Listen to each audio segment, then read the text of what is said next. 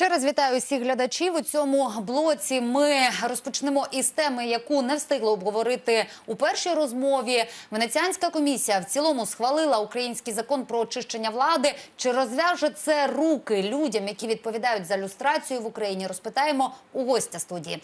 До нас завітав Максим Маньковський, секретар громадської ради з питань люстрації при міністерстві юстиції України. Вечором добре. Добрий вечір. 223 09 71 – це телефон нашого прямого ефіру. І саме за цим телефоном ви маєте можливість поставити своє запитання. Е, можемо не обмежуватися ілюстрацією, тому що плануємо сьогодні поговорити і про корупцію, і про майбутні місцеві вибори, зокрема про закон, який ухвалили у першому читанні народні обранці. Але все ж розпочнемо з люстрації. Долучайтеся. Отже, Максиме, то розв'яже руки чи ні? Бо я на початку червня спілкувалася з вашим колегою в цій студії Карлом Волохом, і він весь час сказав: чекаємо висновку Венеціанської комісії, чекаємо, що тепер. Ну дійсно, ми дуже дуже чекали висновку Венеціанської комісії, не тільки ми, тому що ми пам'ятаємо і рішення Конституційного суду, і ми е, констатуємо те, що і суди, які е, ведуть справи е, з приводу е, закону про очищення влади, з приводу реєстрації, вони теж постійно е, говорили про те, що буде висновок Венеціанської комісії, буде рішення Конституційного суду. Тому ми дійсно чекали. Я, до речі, хочу привітати всіх всіх людей, які мають відношення до створення закону про очищення влади, хто працював над змінами, е, хто приймає участь в люстраційних процесах України. Це дійсно дійсна перемога для нас, Е, тому що нам постійно говорили, що Венеціанська комісія рознесе в пух і прах цей закон про очищення влади. Ілюстрації взагалі не буде. Я розумію, що ті уламки того минулого режиму ну дуже чекали цього. Е, Ми бачили, як пан Ківалов скільки прикладав зусиль, скільки прикладав зусиль Колон Льовочкін, щоб цей закон був рознесений і не працював в Україні. Але Венеціанська комісія, до речі, що мо- що можна поставити їй е, в приклад і іншим іншим європейським чиновникам цю венеціанську комісію. Вони розібралися. Вони приїжджали сюди. Сюди приїжджав пан Букікіо, це один із головних людей Венеціан, Венеціанської комісії. Е, Приїжджали члени Венеціанської комісії. Ми спілкувалися члени гром- громадської ради з питань люстрації, різних громадських організацій. Департамент люстрації при міністерстві юстиції постійно вів з, ни- ними переговори. Я дуже вдячний пані Тетяні Казаченко, голові департаменту люстрації е, при міністерстві юстиції, яка приклала дуже великі зус- з- зусилля для того, для того, щоб до, е, доказати Венеціанській комісії, що іншого іншого варіанту в Україні не може бути, тому що нам постійно казали, що європейці зі своїм менталітетом, зі своєю там стиглою демократією, вони не оцінять і скажуть, що те, е, те, закон про очищення влади в Україні він дискримінаційний і все інше. Дуже багато таких балачок. Але це вже в минулому. Я ще раз вітаю, що Венеціанська комісія винесла винесла свій вердикт. Зараз дуже багато різних інсинуацій, тому що цей вердикт і висновок Венеціанської комісії є тільки в англійському варіанті. Тих, хто знає англійську мову, може прочитати його. Але для наших телеглядачів я можу сказати, да, основні моменти. Так, основні, основні моменти. пункти там спірні були, так які Так. апелювали противники. Да, і я хочу наголосити п'ять пунктів, на яких наголосила Венеціанська комі- комісія. Ну, перший пункт: Венеціанська комісія визнала право України на автоматичну люстрацію. Це та люстрація, яка почалась ще в жовтні 2014 року. Це та люстрація, під яку попадали по- е, високопосадовці, які займали певні посади, починаючи з 2010 по 2014 рік, які слугували режиму Януковича. Це перший висновок. Другий те, те, що відмітила Венеціанська, Венеціанська комісія. Люстрація нічого не має спільного і вона не попирає права людини. Третій момент, який визнала е, Венеціанська комісія, цілі закону про очищення влади. Перша ціль закону це закон хоче відсторонити від влади е, еліти, які слугували минулому режиму. І другий це боротьба з корупцією. Е, Четвер, четвертий пункт. Е, Венеціанська комісія відмітила, що всі судді, які призупиняють сп- процеси, ілюстраційні процеси і судові справи по цим, по, по цим процесам, вони заважають втіленню в життя закону про очищення влади. І також вони сказали, що судді Конституційного суду теж повинні проходити перевірку. Це тут це теж дуже важливо для нас, тому що ми нагадуємо, що ми постійно казали, що вісім суддів Конституційного суду це ті судді, які е, пану Януковичу там ще пару сроків е, строків е, додавали. Це ті судді, які казали, що в Києві не повинні бути вибори, а лише лише лише в 2015 році. І останній п'ятий дуже важливий момент. Е, Венеціанська комісія підтвердила те, що українські виборці мають право знати про тих людей, яких вони обирають на виборні посади, чи підпадають вони під критерії закону про очищення влади. Оце основні п'ять моментів, які підтвердила Венеціанська комісія. І тим самим вона дала зелене світло впровадженню далі і дії закону про очищення влади в Україні. От зараз там ще, ще по деяким із цих пунктів додаткові запитання у мене будуть, але давайте спочатку послухаємо глядача. Вечір вам добрий. Добрий вечір.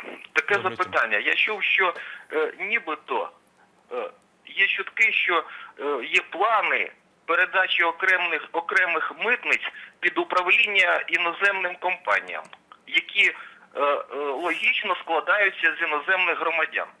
Е, якщо це дійсно таке є, е, то чим тоді буде займатися наш український уряд? Прокоментуйте, будь ласка. Дякую за відповідь. Е, Дякую за запитання. Я вам скажу, що мені е, стопроцентно невідомо це чи є в уряду такі плани. Я не можу виключати, що дуже різні е, в лапках інноваційні такі плани зараз бродять по кабінету міністрів. Я можу сказати прокоментувати свою думку. В управлінні іноземним компаніям. Ну я вважаю, що це, це не потрібно робити. Але я можу вас повернути до досвіду, наприклад, Польщі. Як Польща поборола корупцію на митниці? Вона запросила на західні свої кордони. Вона запросила митників з Євросоюзу. Якщо я не помиляюсь, це були люди з Великої Британії, і вони стали керівниками митниць, тому що при всьому тому, що ми кажемо, що в Європі да це зараз добре, але Польща теж була в неї було дуже багато проблем. І ці люди просто вирівняли цю ситуацію, просто ви- викринули хабарі, і все інше. Тому, коли може запрошувати іноземних представників з Євросоюзу, дійсно митників, які це пройшли, може цей варіант, але це спірне питання. Це моя особиста думка. Можемо її обговорювати. Давайте послухаємо ще одне запитання. Говоріть, будь ласка. Да, щире вітання. У мене таке запитання. Власне, мене цікавить щодо можливості проведення е, виборів місцевих на окупованій території Донецької Луганської областей. Е, чи можливо це за, за українським власне законодавством? А також мене цікавить е, політична доля вчорашнього інтерв'ю е, колишнього президента пана Януковича. Е, Чи є власне можливість, щоб у нас е, голів областей обирали народ, а не як зараз призначає президент, як це є, наприклад, в Росії. До речі, чи має шанси в тій же Ростовській області е, Путін призначити, наприклад, Януковича е, в знак е, противаги Саакашвілі в Одеській області? І останнє щодо подання Конституційний суд пана президента щодо позбавлення права президента. Е, Право депутати народні, конституційний суд, сам президент, чи можливо все таки народ, який його обрав і дав йому право носити це горде ім'я президента України. Все найкраще.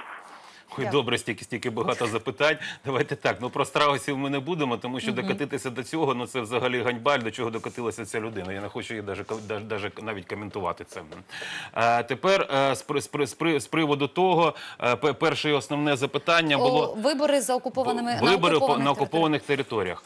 Ну да, давайте так. Я розумію, що ці тези е, ходять, ходять давно, і певна е, категорія людей, яка їм вигідна, постійно їх мусує. Ці, е, ці тези про те, що там повинно провести вибори. Е, ну теоретично ми можемо говорити про все, що завгодно. Я вам більше скажу. Я роз, я знаю, що і деякі представники Євросоюзу е, теж кажуть про те, що ви повинні зробити все, щоб на тих територіях пройшли вибори. Я розумію, чому вони кажуть, тому що ну в деяких моментах вони вже зайшли в тупик і, і не знають, що робити з Росією. І, і тому вони бачать це дійсно вихід. Але коли на, на наші політики, наші представники в розмовах задають питання, а як? Ну скажіть, теоретично можливо. А як це практично зробити? Ну як? Ну як пан Губарів приїде сюди і буде представляти Дон- Дон- Донецьку чи там Луганську область, е, ще, чи ще оці бойовики? Ну хто їх сюди пустить? Ну це, це ж просто неможливо. Тому я б, чесно кажучи, не бачу, не бачу реальної можливості на окупованих територіях. Я наголошую на окупованих територіях, які зараз знаходяться е, під впливом під впливом терористів і російської і російської армії. Я не бачу е, можливості е, практично провести там вибори. Друге запитання, щоб голів областей е, обирали, а не призначалися вони президентом. Тут треба змінювати. Тут треба змінювати е, взагалі всю систему місцевого самоврядування. Так Я воно взаг- ж і має ну, от, А, Вона і має, має змінитися. Я взагалі дуже хотів би хотів би побачити е, остаточний, е, остаточний висновок, остаточний документ, рішення от тієї комісії, яка створена по децентралізації, внесення змін в конституцію і, і всьому іншому. Тому що ходить ходить, ходить дуже багато чуток різних про те, що вони е, то одне, то інше, то третє. Давайте спочатку побачимо. А те, що коли ви хочете мою, мою думку, я впевнений, що е, взагалі цей рудимент, як голови обласних рад, їх, їх треба прибирати. Це функції виконкомів, які повинні е, формувати місце- місцеві ради. Да, повинна на, наприклад, на області там по те, те схемі, яка е, і образу і подобію, який є в Польщі. Да, там є око президента, наглядові. Ну у нього там дуже такі кон- контролюючі функції, і все. Тобто, ну це треба просто виписувати. А функцію голів обласних рад їх треба ці е, посади скасовувати, так як і районних теж саме. Е, Подання Порошенка щодо розтлумачення статусу. О, е, я навіть забула вже як його прізвище. Я теж Януковича. Е, давайте, я з самого початку сказав про Януковича. Давайте не Не будемо будемо. чіпати це, з- це взагалі. Бачите, я найсвідоміша людина в цій країні. Я навіть уже й забула, як звали ту негідну людину. Давайте слухати наступне запитання. Вітаємо вас. Добрий вам вечір. Добрий вечір. Добре, Я говоріть, будь ласка. Поставити два таких коротеньких питаннячка, пане. Скажіть, будь ласка, е, як ви вважаєте, чому саме, саме наше військове керівництво та вище керівництво держави не мало вже дати наказ про прийняття про застосування зброї нашим зброй- збройним е, силам і, і дати відсіч агресору, ну тобто мандирсько-російським військам. І, і чому ми не можемо відвоювати свою територію? Мабуть, це комусь вигідно, або Порошенку, або Ясеніку. Скажіть, будь ласка, як на ваш взгляд, в кому це з цих двох осіб вигідно? А я Дякую. хочу вас, а ви не кладіть, будь ласка, слухавичку. Ви Так, мене так, чуєте? так.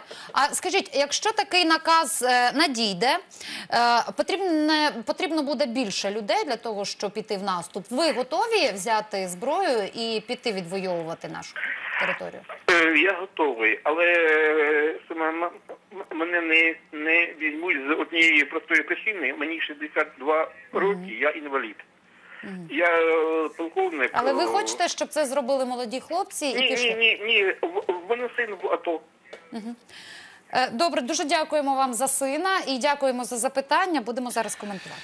Давайте я спробую відповісти. Дійсно, це дуже важке питання. Я чому скажу важке, тому що я е, не, не хочу займатися популізмом і виголошувати якісь лозунги, але і казати проти, проти реалії. Ми і так їх бачимо по телевізору кожен день, коли включаємо новини. Е, кому вигідно із цих двоїх, я не знаю. Може одному, може іншому, може комусь третьому, четвертому. Те, що це вигідно комусь, ну це дійсно, і я вас пов- повністю підтримую. Як вийти з цієї ситуації? Ну, я вважаю, що ми повинні брати приклад, е, наприклад, того ж Ізраїля, набиратися сил, набиратися мужності, е, ставати багатою державою, е, щоб ми могли дійсно дати відсіч, дати відсіч агр- агресору. Я хочу нагадати історіч, історичні факти. Давайте пригадаємо Берлінську стіну, яка проіснувала 40 років. Тоді теж, теж розділили два, два народи, на- німе- вірніше один німе- німе- німецький народ. Однак е, в д- 89-му році е, східні німці вони з'єдналися, тому що вони зрозуміли, що система, яка є в західному Берліні, Берліні, яка є ФРГ, вона набагато краще, ніж там соціалістична система, яка була. Тому я, по-перше, мій е, рецепт. Давай, давайте ставати багатшими, давайте ставати заможнішими. Давайте, і тоді вони повернуться. А з приводу військового отпору, ну це, мабуть, е, питання все, все-таки більше до військових. А, я не хочу пересмикувати, я не хочу свої, вибачте мені, ну я дилетанти, тому я не хочу давати їм поради в цьому. Ну, я можу порадити глядачеві. Сьогодні о 21.25 до студії прийде генерал армії Ігор Романенко, і ви зможете йому адресувати, адресувати це запитання. Я думаю, отримаєте кваліфіковану відповідь. А ми слухаємо запитання від ще одного глядача. Ми вас вітаємо. Добрий вечір. Добрий вечір. Добрий вечір. Э, У меня такой вопрос. Уже роль иностранцев в истории нашего государства была неоднократно подтверждена. Еще при князе, еще при Киевской Руси нанимали варягов. Помните, они приходили целые дружины и наводили порядок. У меня такой вопрос. Как вы считаете, роль иностранных э, сейчас м, руководителей, которые привлекаются, смогут ли они поднять? И не обидно ли для нас, украинцев, что у нас, вот, мы говорим, революция гидности, а теперь стали нами руководить люди, например, Саакашвили, на которого заведено уголовные дела до 11 лет лишения свободы и 15 миллионов долларов растраты. Как он может, с каким лицом выходить и руководить Одесской областью? Спасибо.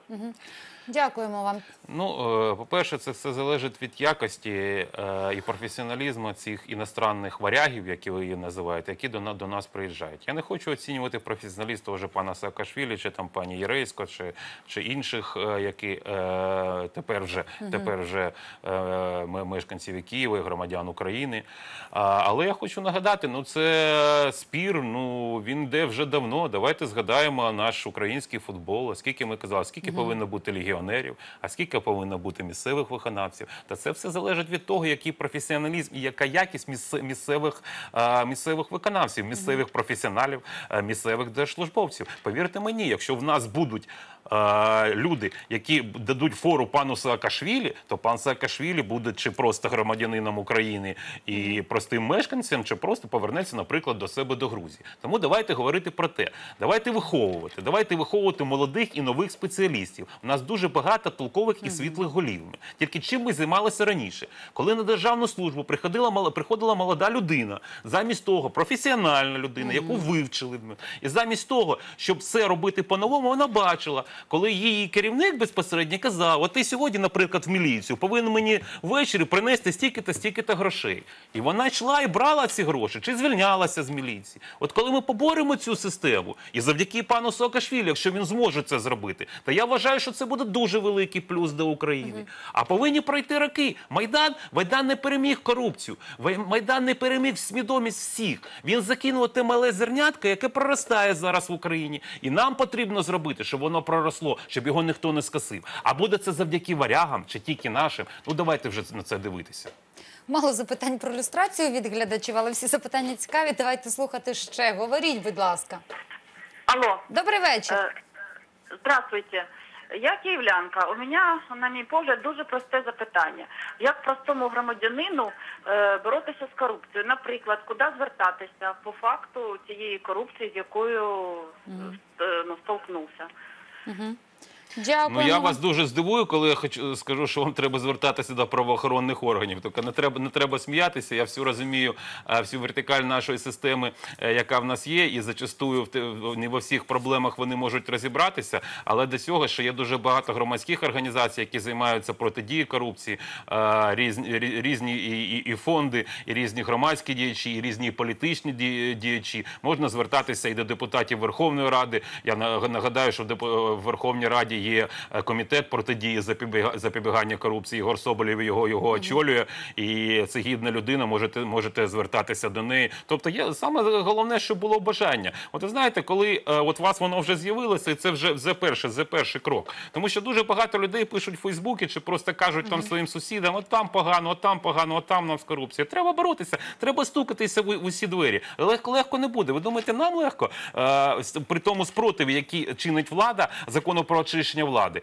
Е, Нам ви думаєте, нам легко звільняти от цих всіх мож, можновладців, у яких криша, вибачте мені, і прикриття залишилося з тих часів і нікуди не змінилося. Але ми йдемо, в нас є завдання, і ми віримо, що ми зможемо змінити страну. Коли ми з вами станемо однодумцями, і ви в це будете вірити, м, все, буде нормально. Стукайтесь в двері, вам відкриють обов'язково. Е, Якщо, якщо, якщо, якщо вам, вам потрібно, будь ласка, знайдіть мене в Фейсбуці. Якщо у вас є проблема, будь, будь ласка, пишіть, е, буде, будемо розбиратися. Максиме, президент сьогодні ветував закон про інститут громадянського обвинувачення. Як ви прокоментуєте? Цей, е, цей закон дійсно неоднозначний. Проти нього виступало дуже багато громадських активістів і, і громадських діячів. Я би, чесно кажучи, застеріг від застосування в нашій нестиглій демократії, е, в нашій системі, е, коли ще не реформовані органи внутрішніх справ. Е, Я вже про це казав, що дуже багато ті, які слугували Януковичу і били майданівців, зараз е, працюють на своїх на своїх посадах. Я вже не кажу про суди. Про на про наші суди. Е, Я вважаю, що це зарано ще вводити такий закон. Тому, в в принципі, я його підтримую. Підтримуєте. Е, Ми слухаємо наступне запитання від глядачів. Ми вас вітаємо. Добрий вечір. Е, Добрий вечір. А скажіть, будь ласка, пройшла революція, є президент, є прем'єр. Я проста людина, чомусь вірю більше Саакашвілі, чим нашим чиновникам, де Європа арештовує рахунки Росії, а наші все мовчать. Маломуж, який говорить, наголошує, які професії е, ну, назначають на у ОСБУ місто Наливайченка. Це просто сором, які нічого не роблять. Колись будуть розплачуватися за тих за ту молодь, яка загинула. Розумієте?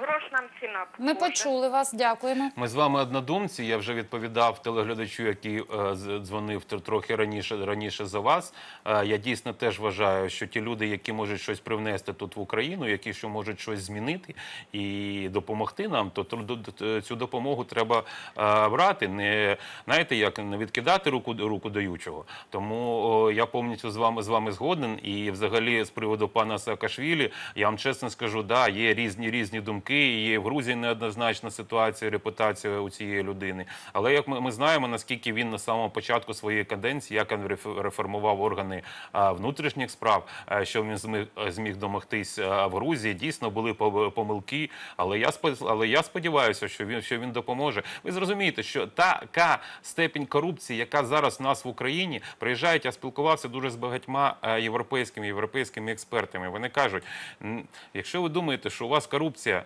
менше, ніж в Росії, так це не, нема. Тому що то, то це ні. Тому що Росія це диктатура. При диктатурі взагалі корупція вона трохи менше, ніж в демократії. Тому вам ще боротися і боротися. І тому я буду е, вітати любу людину, яка сюди приїде і буде допомагати нам боротися з корупцією.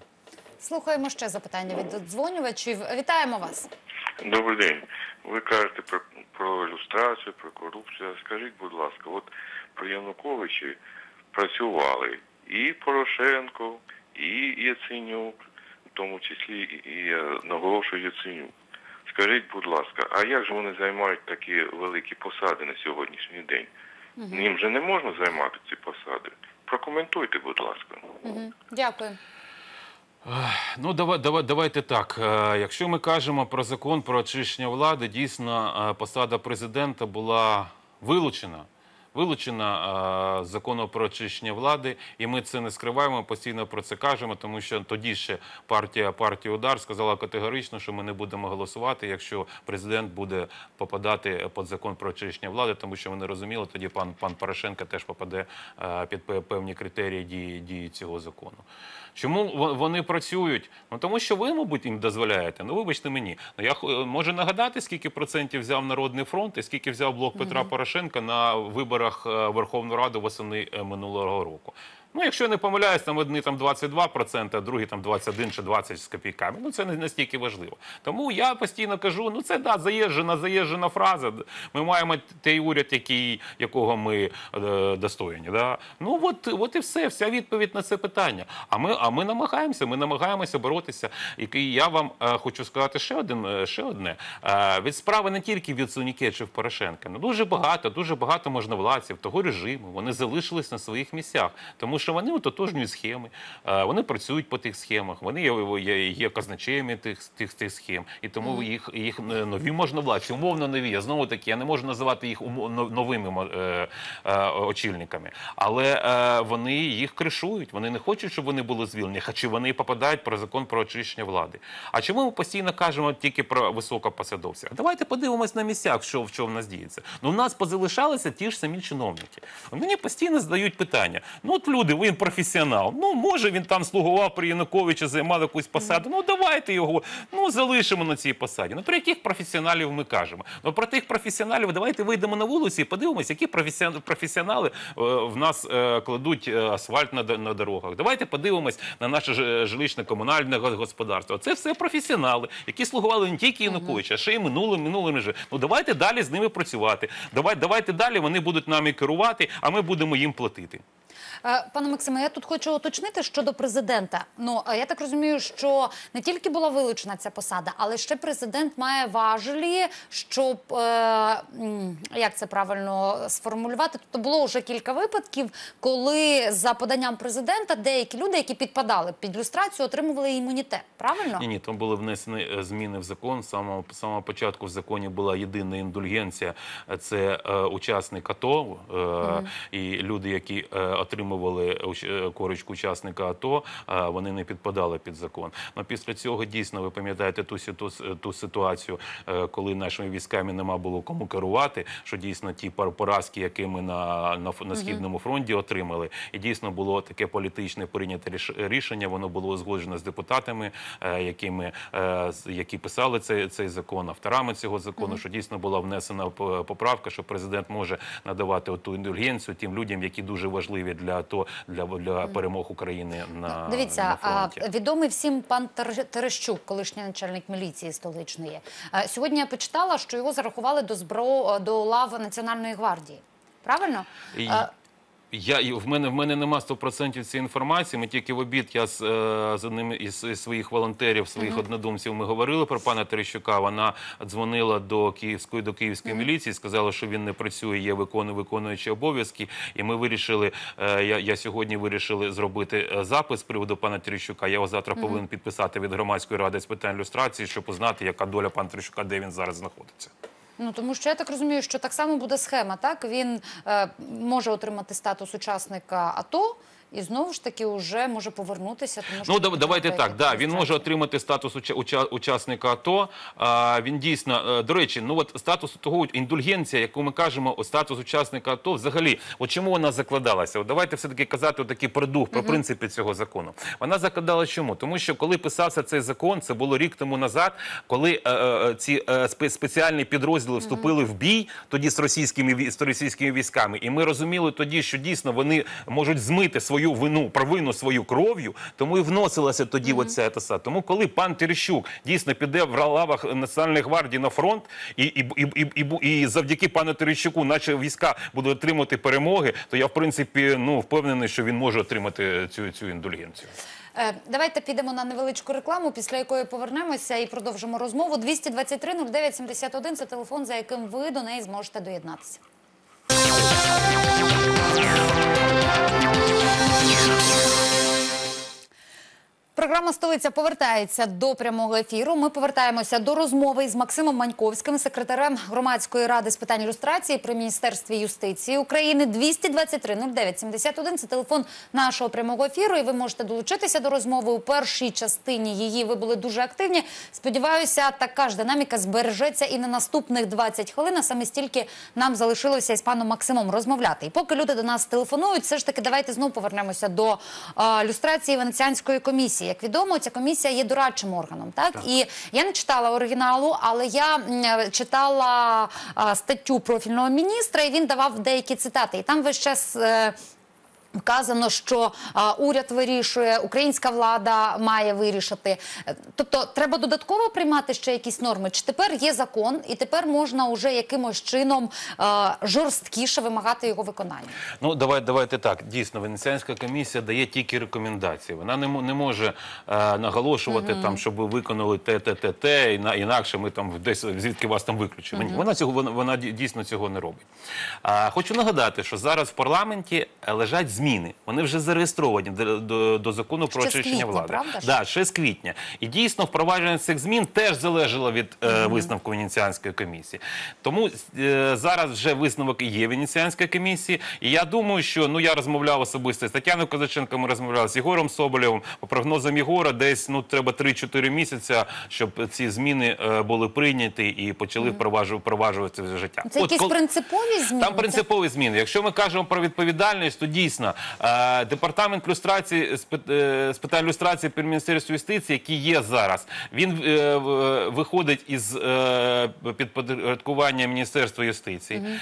Він стає окремим ЦОВом з, з, з, повноваженнями. Він буде підпорядковуватись кабінету кабінету міністрів безпосередньо. І там вводиться функція перевірок і відповідальності керівників, які не виконують закон. Приписи, такий інструмент, як приписи їм будуть надаватися. Там будуть грошові такі різ, різні штрафи. Тобто вводиться е, е, відповідальність, відповідальність за невиконання цього закону. І тоді вже там буде це міні- міністр юстиції чи та кабінет міністрів. Саме саме основне, що згідно закону, будь-який керівник, який не виконує цей закон про очищення влади, буде знати, що буде покарання. Слухаємо запитання. Говоріть, будь ласка. Здравствуйте, добрый вечер. Добрый вечер, здравствуйте. Добрий вечір. Я по такому вопросу. Во-первых, много вы э, говорите, может быть, положительного, но много и болтовни, извините. Я хотел бы вам конкретно сказать, как избежать инфляции, иллюстрации. Уберите наличные деньги, и завтра все исчезнет и станет все на свои места. Уберите наличные деньги. Все. Сделайте безналичный расчет. И исчезнет коррупция, исчезнет убийство, разбой. Все исчезнет, как в Европе будет.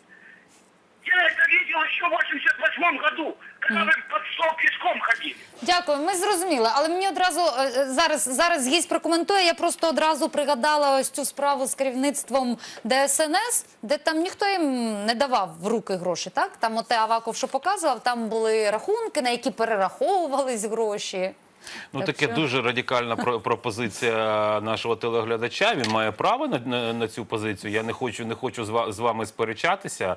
Е, ну, коли е, йде конкретні запитання, я можу е, надати, надати факти. Якщо ми говоримо теоретично, як в даному вашому, вашому запитанні, то давайте е, я, я вам відповім. Е, ну, я в Європі не бачив, що нема грошей, яких, е, які там ходять, що там тільки електронні перекази. Ні, в всій Європі. Тому давайте може боротися не з вже наслідками цієї проблеми, а з те, те що лежить, е, лежить на, на поверхні. Людина, повірте мені, якщо вона захоче взяти хабар, вона придумає за все, все загодно. Пам'ятаєте російського класика? Там чим брали? Борзими щенками брали. Тому ну я дякую за вашу пропозицію, але ну я, чесно кажучи, не, не підтримую, що заборонити е, е, ходження грошей.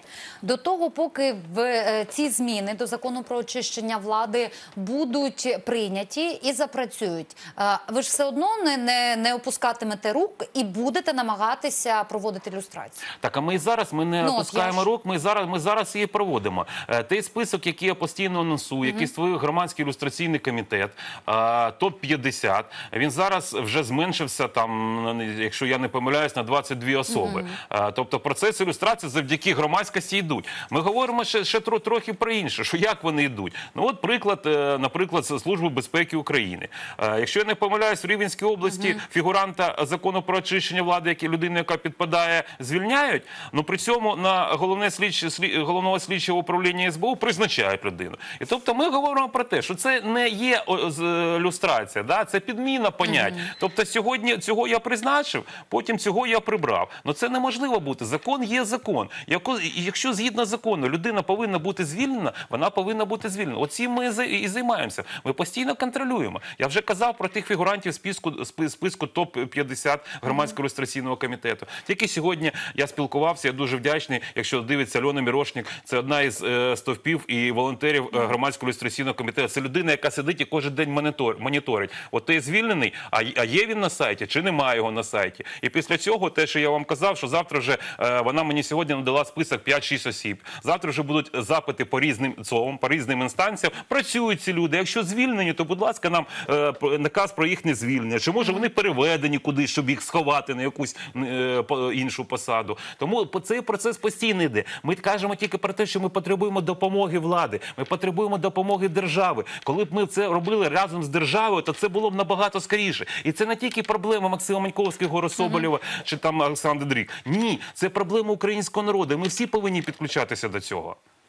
Ну от е, міністр Павло Петренко він назвав е, служби, які найбільше е, приховують інформацію щодо люстрації. Це Державна фіскальна служба, служба безпеки України, Міністерство внутрішніх справ. І це якраз і є ну такі, ну як на мене, такі одні з найголовніших в нашій країні, так тому що якщо це якась там районна адміністрація, це одна справа. А от такі служби. Ну я з вами згоден з одного боку. З іншого боку, для е, закону е, є всі однакові, яким би він не працював. Дійсно, е, що люди, які е, якось якось можуть впливати е, на вирішення і долі інших людей, це і судді, це і правоохоронці. дійсно, вони повинні бути першими очищені, щоб була довіра до цієї до, до цієї системи. Це в продовження запитання теле- теле- теле- теле- телеглядачки, куди куди їй звертатися. Дійсно, наприклад, Державна фіскальна служба ще на, на, на початку цього року ми надали список. Список, якщо я не не помиляюсь, там біля 30 осіб можу е, з кількістю помилитися. Але е, до сих пір багато з цього списку людей ще працюють на своїх посадах, хоча змінилося руководство Державної фіскальної служби. А, але вони продовжують працювати. Конкретний конкретний випадок тільки е, на тому тижні нам повідомили, що один із фігурантів, е, е, очільник Київської регіональної митниці, пан Дворок, що він був звільнений. Але звільнений взагалі з митниці чи переведений він на іншу посаду, ми до сих пір не знаємо. І, до речі, будемо давати з цього приводу е, з цього- приводу запити. Така ж ситуація в Міністерстві внутрішніх справ. Е, Мало того, що е, дуже багато посадовців не публікують свої автобіографії, і ми не можемо з'ясувати, які посади вони займали з 14 з 10 по 14 рік і в часи Майдани. І ми, до речі, на, цьому наголошували пану Овакову, що треба вирішувати цю, цю ситуацію. Так і дуже багато посадовців. Ми закликаємо, що вони повинні бути звільнені, а вони і далі і далі працюють. Зараз продовжимо. Давайте відповімо на запитання глядача. Вечір добрий. Добрий вечір. Ну, У мене запит- пару запитань до вашого гостя. А пораховано, які збитки будуть нанесені цією ілюстрацією на підготовку одного е, спеціаліста з вищою освітою. Держава е, платила великі кошти. Так, це перше питання. О, І куди ці люди, коли пройде ілюстрація? Безробітними вони остануться? Чи куди вони можуть піти? Ілюстрація це точка у кар'єрі, у робочій кар'єрі. Не потрібно займатися антикорупційним цим бюро, ваш, ваше те, що ви очолюєте. Просто-напросто внести зміни в кримінальний кодекс. І все, більш нічого. Для того, щоб стати суддєю, треба закінчити юрфак, пройти там ще й курси для того, помічником судді. Так само по прокуратурі, академію треба закінчити. Це великі кошти, треба про це подумати. Як люстрацію, так нас треба всю Україну поставити під люстрацію. Того гаїшника. Систему міняти. А щоб систему поміняти, треба ввести, е, поміняти кримінальний кодекс. У, украв там е, із бюджету 5 тисяч, 5 год каторжних робіт. Другої системи не буде. Розказувати, що ти хороший. Дякую. Ну ми зрозуміли. Ми зрозуміли. Інформація вже почала повторюватися. Ну давайте почнемо з того. Ну от я впевнений, у вас же не виникає питання, що людина, яка створ, е, скоїла злочин, повинна сидіти в тюрмі. І у вас не виникає питання, що там йдуть кошти на його утримання, на отримання судді, який буде судити, слідчого, який доведе його провини, і все інше. Тобто для нас це нормально. Чомусь, коли ми кажемо про люстрацію, а для мене, вибачте мені, от е, люди, які слугували режиму Януковича, які створили цей золотий батон, ну от для мене е, вони, да, згідно закону, вони не злочинці. Я хочу сразу сказати, але моя особиста думка, вони злочинці. І вони не, набагато кращі, ніж ті люди, які, які сидять, е, сидять в тюрмі е, позиваючи. Це перший момент. Другий момент. Ну знову ж ми в перерві, коли була реклама е, з пані ведучою, згадували суддя Чернишенко, голова Київського апеляційного суду. Нагадую вам, знайшли скільки? 6,5 тисяч доларів, 25 тисяч гривень, ключі від п'яти автомобілів і на 14 тонн бензину талони. Звідки він взяв? З вашого карману їх взяв. Так може краще б вивчити нового суддю, а того пана Чернош- Черношенка взяти, взяти і прибрати. От вам відповідь, конкретна, е, конкретна відповідь. І, і ще один момент. В нас дуже багато нормальних спеціалістів, які готові слугувати державі. Але завдяки тому, що система їх просто не допускає, а тих людей, коли вони одних вона всасує, а інших просто викидує, ми маємо отаких суддів, у які, які нам розповідають, що 25 тисяч гривень він взяв на магазин, а 6,5 тисяч гривень, щоб робити собі собі зуби. От і все. А хочете вірити? Вірте в це. І давайте далі буде продовжувати мовчати про це. Дякую. Е, нагадайте, будь ласка, чи є в Україні єдина база, єдиний реєстр люстрованих осіб, і чи користуються, е, чи мають доступ до цього реєстру е, всі державні органи влади, щоб убезпечити від е, ну такого явища, як тут тебе звільнили, ти поїхав там в Києві, тебе звільнили, люстрували, ти поїхав в Волинську область, влаштувався. Ну, дивіться, ре- ре- реєстр дійсно є. Реєстр є дійсно тих люстро- люстрованих осіб, які попали під під закон про очищення влади, які люстровані і звільнені згідно згідно цього закону. Він є е, цей перелік цих осіб є, є, є на сайті Міністерства юстиції.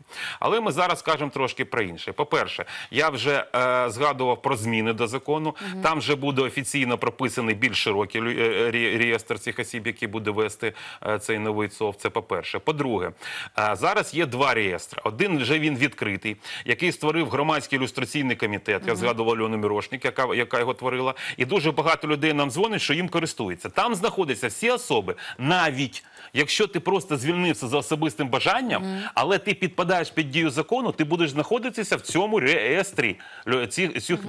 Такий же реєстр зараз створює департамент люстрації е, при міністер при міністерстві України. Я думаю, що вони будуть скоро об'єднані, тому що департамент люстрації більше можливостей отримання інформації. Там він бі- більш буде чіткий, більш більш такий насичений цей реєстр, але вони вже вже діють цей І я хочу повернутися до тих п'яти пунктів, з яких ми починали, які е, у висновку Венеціанської комісії. Почати з п'ятого. Виборці мають право знати про те, що ця людина свого часу була люстрована.